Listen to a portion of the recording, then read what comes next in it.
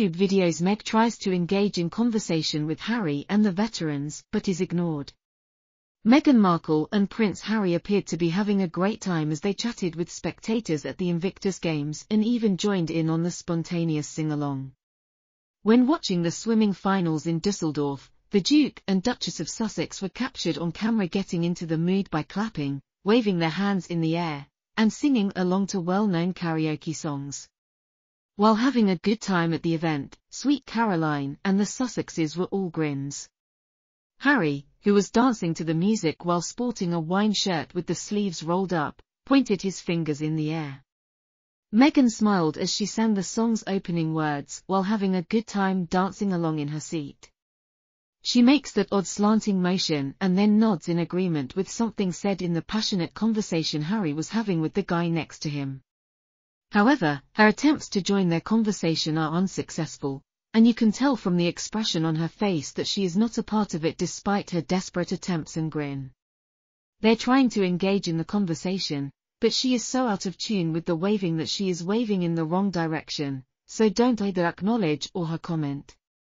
She's making me work so hard this time, and putting on an act is very dishonest and must be exhausting because you have to draw upon all those brain cells to act this much.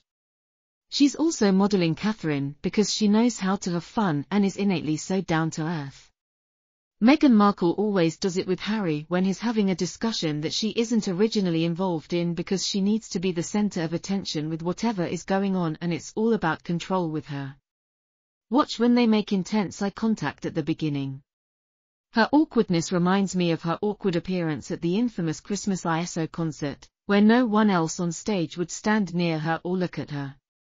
She looks so out of everyone in a sort of sync with everyone in everything they do, but she is also awkward in trying to fit in.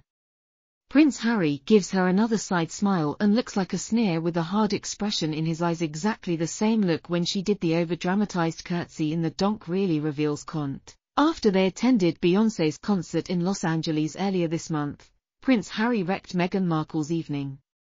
Meghan according to In Touch Weekly, Henry had no interest in the event despite the fact that the Duchess of Sussex was eager to see Crazy in Love perform.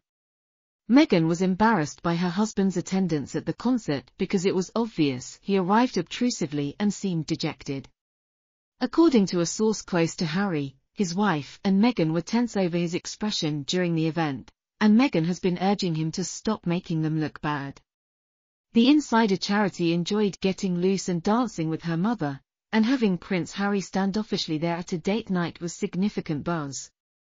The couple is currently in Germany for the ongoing Invictus Games, apparently using the occasion to repair their public image, according to the Insider.